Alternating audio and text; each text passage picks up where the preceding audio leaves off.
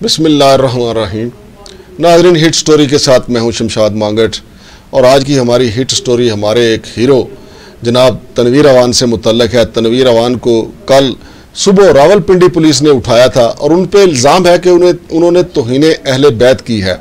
कितना घटिया उन्होंने इल्ज़ाम लगाया। हालाँकि मैं इसका चश्मदीद गवाह हूँ कि वो अटक पुलिस की वो सारी बदमाशियाँ, कारस्तानियाँ बेनकाब करते रहे और हमारे अखबार रोजनामा जनाब में भी छपती रहीं। वो पुलिस मुकाबले में अटक पुलिस ने कुछ लोगों को मारा था, फिर इंक्वायरी में ये साबित भी हो गया। अब उनके पास कोई चारा नहीं था। तो तनवीर अवान साहब की तरफ़ से एक पोस्ट लगाई गई थी कि वो उलाद अली हैं। अब मैं ये कहता हूँ कि मेरे जितने भी अवानों के साथ दोस्तियाँ हैं, तल्लक हैं हती कि ये अवान बरदरी की एक तंजीम है, उसके जितने अवान हैं, फिर हमारे उस्ताद मोहतरम खुशरूद अली खान हैं, फिर अलवी एक्शन के मालिक है, सबका दावा है कि वो औलाद अली हैं। तो फिर अटक पुलिस को चाहिए था कि सारे अवानों को पकड़ लेते, बल्कि अटक में तो अवान है ही बहुत ज़्यादा हैं। तो उनको चाहिए था क्रैकडाउन करते और सारी जेलें भर देते, अगर ये जुर्म था। लेकिन इस पर मुझे अफसोस का ये पहलू भी सामने आया कि हमारा जो नेशनल प्रेस क्लब है, उसकी तरफ़ से एक लफ्ज़ नहीं बोला गया। हमारी जो क्यादत है, बिल्कुल खामोश होगी, उसको सांप सूंघ गया हालाँकि वो बड़े बड़े नापाक लोगों के लिए एहतजाज करती रही है। ऐसे नापाक लोग जो पाकिस्तान के खिलाफ जो हिरजा सराई करते रहे, ना सिर्फ़ पाकिस्तान में, बल्कि बांग्लादेश में जाके, बैरून मुल्क जाके पाकिस्तान के खिलाफ उन्होंने लिखा, बकवास किया और ये हमारी नेशनल प्रेस की क्यादत जो है उनके लिए एहतजाज करती रही। लेकिन तनवीर अवान एक जेनुअन वर्कर है, उसके लिए उन्होंने अभी तक एक लफ्ज नहीं बोला। लेकिन खबर यह है कि तनवीर अवान के खिलाफ जो केस था, चूँकि बेबुनियाद था, झूठा था, उसको F I A cyber crime wing में उन्होंने शिफ्ट कर दिया है और वहाँ दूध का दूध और पानी का पानी हो जाएगा। इनशाला इंसाफ होगा। स्टूडियो में मेरे साथ इस वक्त मौजूद हैं हमारे नेशनल प्रेस क्लब के सबका सदर जनाब शकील करार साहब। शकील करार साहब, आप सदर भी रहे।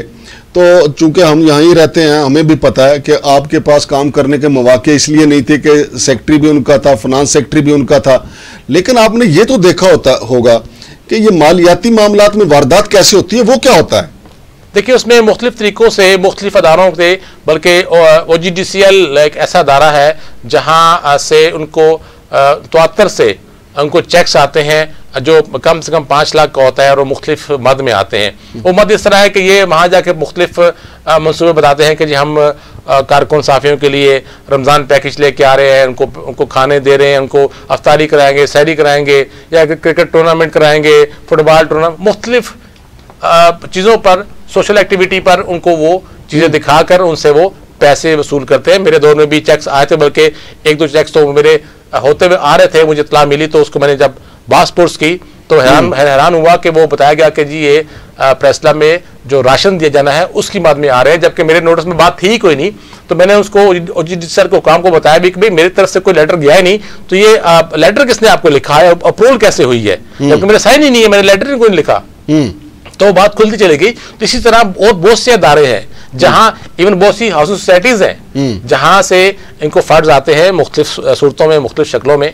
और यही बताया जाता है कि जी हमने कारकुन साफियों के लिए ये इकदाम करने हैं ये हमने प्लान करना है तो वो मुख्त तरीकों से आते नहीं तो शकील करार साहब ये जो कदादम बड़े बड़े बोर्ड लगे होते हैं इनका भी तो लाखों रुपया वो एग्रीमेंट होता है वो अदा करते हैं वो पैसे कौन ले जाता है? देखिए उसका भी एक बड़ा ड्रामा हुआ था वो एक करोड़ नौ लाख रुपए मेरे दौर में आना शुरू हुए थे जो कोविड के बाद अचानक बंद हो गए। हम्म। और प्रेस क्लब जो है वो इंतहाई कसरपुरसी के आलम में चला गया था। जब मैंने वहाँ चार्ज संभाला तो अकाउंट में सिर्फ़ और सिर्फ़ अठारह बीस हज़ार रुपये मौजूद थे। हम्म। और उससे कुछ दिन पहले छः से आठ लाख रुपए सबक सदर को गए थे और वो बताया गया कि जी उन्होंने आ, उनके पैसे थे उनको अदा करने थे। हम्म। तो फिर दो तीन लाख और की बात हुई। तो मुख्तलिफ़ शक्लों में बताया गया जी पैसे उनके थे उनको वापस करने थे ये है वो है मुख्तलिफ़ ड्रामे किए गए। मतलब पहले पहले महीने की तनख्वाह मैंने अपने दोस्त के वालद से उधार पैसे ला के वो तनख्वाह अदा की थी जिसके मेरे पास शवाद मौजूद हैं। रसीद मौजूद है।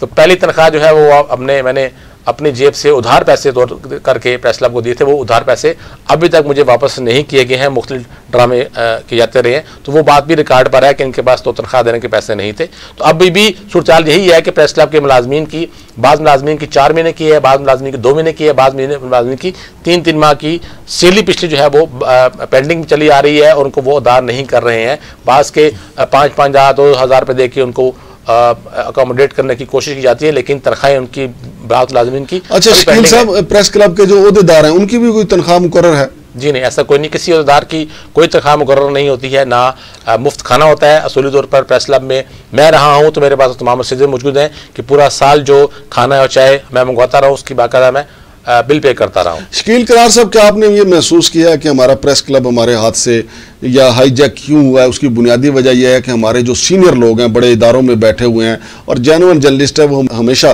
खामोश रहते हैं। खा कोई लूट जाए, जो मर्ज़ी करता रहे। इसीलिए फिर उनको वो हालाँकि अपने दफातर में बैठे होते हैं, उनको बेच दिया जाता है या किसी को निकाल दिया जाए, नौकरी से महरूम हो जाए, उनको भी बेच दिया जाता है। ये उनकी खामोशी की वजह नहीं है। देखिए इसमें दो तीन फैक्टर हैं। एक फैक्टर ये कि हमारा जो जनरल जर्नलिस्ट है उसके पास तो टाइम ही नहीं है। हम्म। और फिर फैसला में जानबूझ का एक ऐसा गंदा माहौल गंदे माहौल से मतलब ये कि ऐसे लोग बिठा दिए जाते हैं। आप अभी फैसला में जाएँ तो आपको ऐसे लोग नज़र आएँगे जिनको आपने शायद ज़िंदगी में कभी देखा ना हो कि ये कौन लोग हैं। मुख्तलिफ़ शक्लों के मुख्तलिफ़ रंग के लोग आपको वहाँ मिलेंगे जो मुख्तलिफ़ टोलियों में हर जगह बैठे होते हैं। फिर दूसरी बात ये कि हमारी जो खातन है हमारी मोजस खातन जो इस फ़ील्ड में है वो क्लब में आना पसंद नहीं करती? वो इसीलिए कि यही माहौल देख के कि वहाँ आगे जाते हैं तो आपको नॉन प्रोफेशनल लोग नज़र आते हैं जो आपके मेंबर नहीं होते वो नज़र आते हैं मुख्तलिफ़ जगहों पे कंटीन में खाने खा रहे हैं मुख्तलिफ़ जगहों पे वो बैठे होते हैं तो वो खातन अवॉइड करती हैं आना पसंद नहीं करती मैंने अपने दौर में शुरू किया था कि मैंने अपनी बेटी की जो बर्थडे थी वो क्लब में मनाई थी अपनी पूरी फैमिली को मैंने बुलाया था। ता- ताकि वहाँ एक माहौल बन सके और हमारी जो मौजूद खातन मम्बरान हैं उनको ये तासर जाए कि क्लब में जो है वो खातन की उस तरह ही रिस्पेक्ट होगी जैसे कि हम अपनी फैमिली की करते हैं। अच्छा शकील करार साहब वो तो बरसर इकतदार हैं आप अपोजिशन में हैं। तो अगर उन्होंने कॉल नहीं दी तनवीर अवान के लिए तो एहतजाज की कॉल तो आपने भी नहीं दी। देखिए एहतजाज की कॉल मैंने नहीं दी लेकिन एटलीस्ट सबसे पहले आवाज़ मैंने ही उठाई। मैंने ही फेसबुक पे ट्विटर पे सबसे पहले अपनी पोस्ट लगाई और उसको मुसलसल उसको अपडेट कर रहा हूँ। आज भी जो डेवलपमेंट हुई है उसको भी अपने ट्विटर और फेसबुक पे मैंने अपडेट किया है। तो सबसे बड़ी बात होती है कि आपने आवाज़ उठाई। प्रोटेस्ट तो एक अलामती होता है। वो तो आप किसी भी अंदाज से कर सकते हैं। एहतजाज का मकसद होता है वो चाहे आप सोशल मीडिया पे करें अपना वीडियो बयान जारी करें तहरीरी बयान जारी करें आपका एहतजाज ही होता है वो। आप ज़रूरी नहीं तो- होता कि हम मुजाहरा करके हम अपना एहतजाज या अपनी अजारे यकजहती करें। आपका अंदाज मुख्तलिफ़ है? आप करें। नहीं देखें इन्होंने जो नाखुशगवार वाक़ मतीउल्ला जान के साथ हुआ उसकी भी इन्होंने प्रेस रिलीज़ जारी की थी और बेशुमार ऐसे वाक़ात हैं जिनकी इन्होंने प्रेस रिलीज़ जारी की। लेकिन तनवीर अवान ने क्या इनकी खोती मारी हुई है कि उसके लिए इन्होंने नहीं किया? क्या तनवीर अवान का क्या कसूर है? देखिए बात चीज़ें तो तयशुदा एजेंडे के मुताबिक होती हैं। ये जब चीज़ों को प्लान करते हैं तो उसके पीछे बहुत सारे महरक़ात होते हैं। कि किस चीज़ को किस अंदाज से खेलना है और किस अदारे से या किस जमात से हमने क्या फ़ायदा लेना है। हम्म। तो प्लानिंग होती है बाकायदा उसकी। तो ऐसा नहीं होता कि अचानक को कुछ हुआ और उस पर प्रोटेस्ट कॉल हो गया फिर प्रोटेस्ट हुआ और उसके बाद फिर मुजाकरात हुए फिर टेबल टाक हुआ तो फिर खामोशी हो गई। ऐसा नहीं होता सब प्लान करते हैं ये। तो शकील- अमान साहब का मामला इसलिए कि देखिए ना कोई भी कारकुन साफी हमारी तरह इससे पहले जब वो एक सिंध का साफी यहाँ पे आया इस्लामाबाद में मेरे पास वो आया उजैर अपनी मदद के लिए कि मेरी हेल्प करे, मुझे जान का खतरा है। तो उसको मार भी दिया गया था। आज तक क्या प्रेस क्लब की जो बसरदार ग्रुप है, उसने कोई आवाज़ उठाई? मैंने आवाज़ उठाई थी उस वक्त। अच्छा शकील करार साहब, आप ये जानते हैं कि ये जो अभी जब धरना था तो ये भी मालूम सामने आई कि अंदर पीआरए का जो मामला चल रहे थे तो बाहर बैठे हुए एक शख्स ने दोनों तरफ़ से वो खेल गया बाहर भी खेल गया अंदर स्पीकर साहब से भी खेल गया और उस पर अब इनमें काफ़ी जो है वो मामला चल रहे हैं। ये आपको मालूम है इस बात का? जी मालूम है मुझे बल्कि जो स्पीकर कौमी असम्बली का वीडियो बयान था जो टॉक थी मीडिया से वो मैंने शेयर की तो उस पर भी काफ़ी लोगों ने उनको आग लगी। तो उन्होंने कहा कि ये झूठा बयान है स्पीकर झूठ बोल रहे हैं। भाई स्पीकर झूठ झूठ बोल रहे हैं तो आप उनसे जाके बात करें। हम तो उनकी स्टेटमेंट जो ऑन रिकॉर्ड है जो मीडिया पे चली है टीवी चैनल्स पे चली है अखबार में शाये हुई है हम उसको शेयर कर रहे हैं। अब वो झूठी है सच्ची है आप जाके तस्दीक अब उनके बयान को आप किस तरह तस्दीक कर सकते हैं कि ये झूठा है या सच्चा बयान तो दे रहे हैं? आप तो नहीं कर सकते। लेकिन शकील करार साहब अब इलेक्शन भी सर पे हैं। आपने कोई क्या हिकमत अमली बनाई है कि प्रेस क्लब को ऐसे लोगों से निजात दिलाई जाए और इसको कारकुन का डेरा बनाया जाए इसको कारकुन की फलाह का इसको ज़रिया बनाया जाए? कोई ऐसा आपने क्या प्रोग्राम बनाया है? देखिए कुछ हमारे सियासी सीक्रेट्स हैं वो सारी बातें मैं यहाँ डिस्क्लोज नहीं करूँगा। तो हमारा तो एजेंडा एक ही है कि जो कारकुन सहाफ़ी है उसके हक के लिए उसके राइट्स के लिए उसके माशी तहफ़ के लिए हमने प्रेस क्लब का प्लेटफार्म भरपूर तरीके से इस्तेमाल किया था और अब भी करेंगे।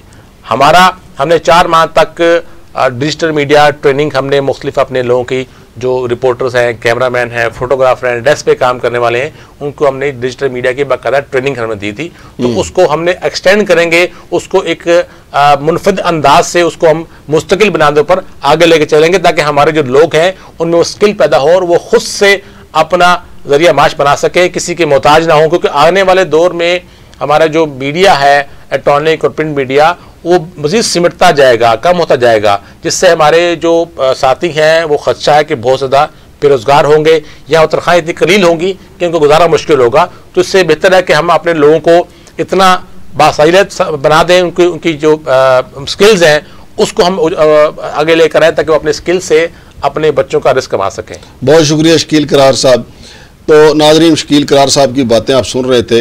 हर शर से खैर निकलती है। तनवीर अवान की जो गिरफ्तारी है, उससे खैर का पहलू ये निकला है कि हमारी नेशनल प्रेस क्लब की जो क्यादत है उसके मुँह के ऊपर जो नकाब चढ़ा हुआ था, जो बार बार कहते थे, वो कारकुनों के बड़े हमदर्द हैं, दावेदार हैं तो तनवीर अवान की इस गिरफ्तारी ने उनका वो नकाब जो है, वो खींच के उतार दिया और पता चल गया कि वो सिर्फ़ और सिर्फ़ एक ग्रुप के जो है, वो एहलकार हैं, एक ग्रुप के वो आलाकार हैं, एक ग्रुप के लिए वो सिर्फ़ काम करते हैं। तो तनवीर अवान साहब, आपका शुक्रिया, आपने बेगुनाही में जो मुसीबत सही है और सह रहे हैं, अल्लाह पाक आपको इसका अजर देगा। यकीनी तौर पर आप बेगुनाह हैं और तमाम अवान हमारे भाई जो हैं, वो दावा करते हैं, मैं तो अवान नहीं हूँ। उनका जितने जो अवान बरदरी, उनका दावा है, वो औलाद अली हैं।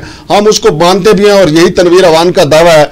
बाकी रही बात, अटक पुलिस ने जो उन्होंने घटिया हथकंडा इस्तेमाल किया इन अज़ीज़, बहुत जल्द उनको भी हम बेनकाब करेंगे। शमशाद मांगड़ को इजाज़त दीजिए। अल्लाह हाफिज़।